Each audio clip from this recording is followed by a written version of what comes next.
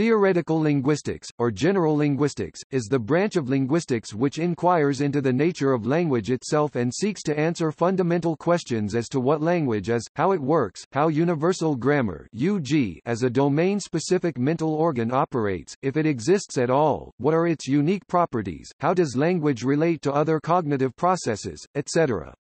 Theoretical linguists are most concerned with constructing models of linguistic knowledge, and ultimately developing a linguistic theory. The fields that are generally considered the core of theoretical linguistics are phonology, morphology, syntax, and semantics. Although phonetics often guides phonology, it is often excluded from the purview of theoretical linguistics, along with semantics. Theoretical linguistics also involves the search for an explanation of linguistic universals, that is, properties that all, or many languages have in common.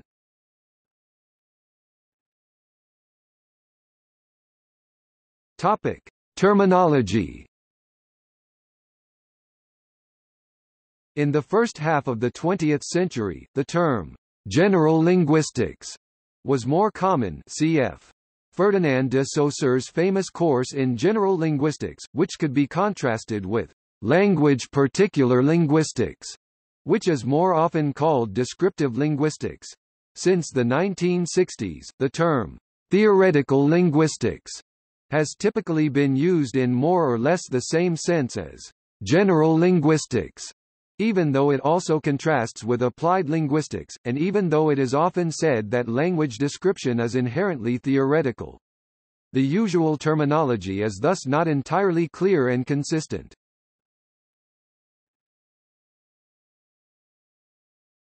Topic: Major fields.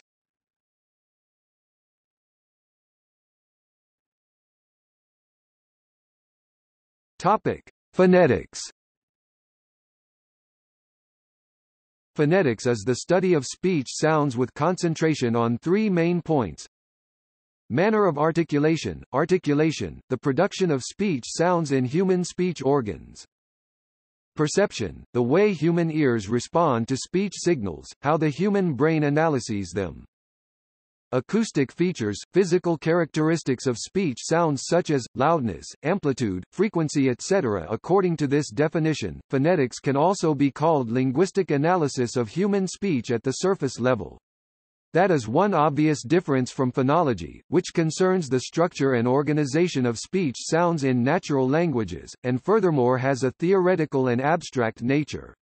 One example can be made to illustrate this distinction. In English, the suffix s can represent either s, z, or can be silent written o, depending on context.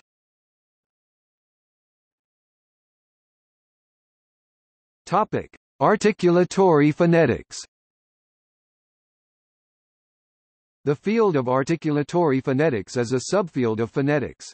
In studying articulation, phoneticians attempt to document how humans produce speech sounds vowels and consonants. That is, articulatory phoneticians are interested in how the different structures of the vocal tract, called the articulators tongue, lips, jaw, palate, teeth etc., interact to create the specific sounds.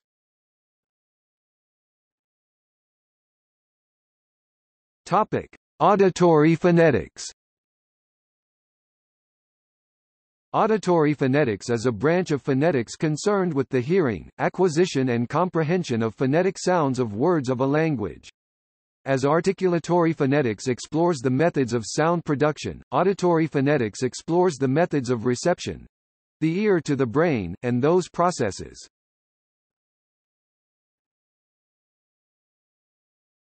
Topic. Acoustic phonetics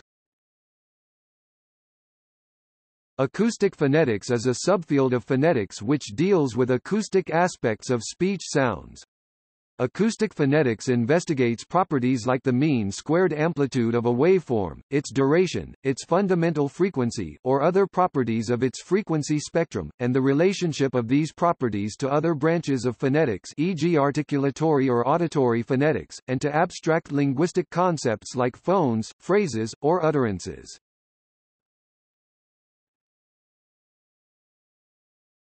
Topic: Phonology. Phonology sometimes called phonemics or phonematics is the study of how sounds are used in languages to convey meaning. Phonology includes topics such as stress and intonation. The basic unit of analysis for phonology is called phoneme. A phoneme is a group of sounds which are not distinguished by the language rules in determining the meaning. In English, for example, t and t are different allophones that represent a single phoneme, t.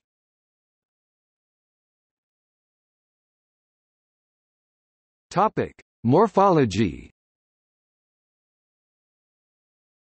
Morphology is the study of the internal structure of words. For example, in the sentences the dog runs and the dogs run, the word forms runs and dogs have an affix s added, distinguishing them from the base forms dog and run. Adding this suffix to a nominal stem gives plural forms, adding it to verbal stems restricts the subject to third-person singular. Some morphological theories operate with two distinct suffixes s, called allomorphs of the morphemes plural and third-person singular, respectively. Languages differ with respect to their morphological structure. Along one axis, we may distinguish analytic languages, with few or no affixes or other morphological processes from synthetic languages with many affixes. Along another axis, we may distinguish agglutinative languages, where affixes express one grammatical property each, and are added neatly one after another, from fusional languages, with non-concatenative morphological processes infixation, umlaut, ablaut, etc. and or with less clear-cut affix boundaries.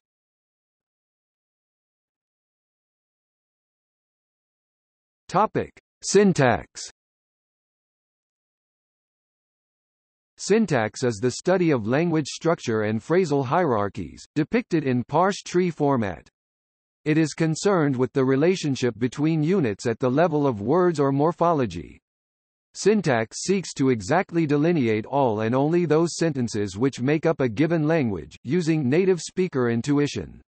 Syntax seeks to formally describe exactly how structural relations between elements lexical items, words and operators in a sentence contribute to its interpretation. Syntax uses principles of formal logic and set theory to formalize and accurately represent the hierarchical relationship between elements in a sentence. Abstract syntax trees are often used to illustrate the hierarchical structures that are posited. Thus, in active declarative sentences in English the subject is followed by the main verb which in turn is followed by the object SVO. This order of elements is crucial to its correct interpretation and it is exactly this which syntacticians try to capture. They argue that there must be a formal computational component contained within the language faculty of normal speakers of a language and seek to describe it.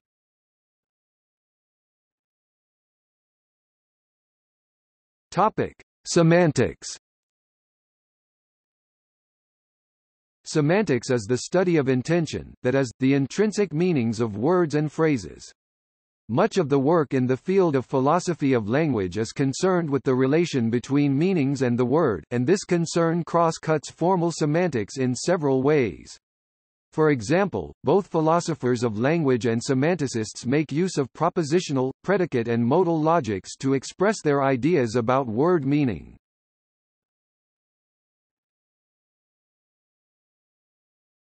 Topic. See also. Biolinguistics. Cognitive science. Computational linguistics. Critical discourse analysis Digital infinity Discourse analysis Formal language Generative grammar Linguistic relativity Minimalist program Pragmatics Psycholinguistics Universal grammar